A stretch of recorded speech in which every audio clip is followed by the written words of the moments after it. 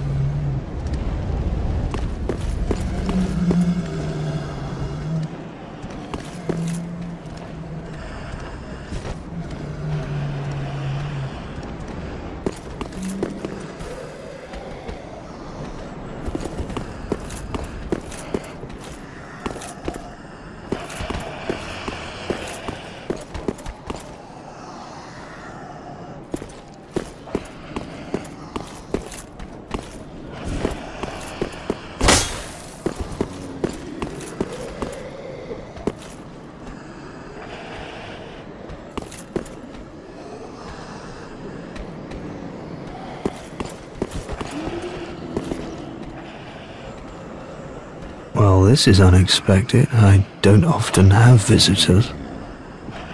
What do you want? This is my study that you've happened upon. If you haven't any business, I've reading to get back to. How intriguing. You'd better not. Sorcery is not for everyone, and should never be forced. You have your own methods. Sorcery need not be one of them. Don't let it bother you. Be on your way then. You're unkindled. Shouldn't you get back to your duty? Oh. Well, nothing has changed. It is either and be on your way. You're unkindled.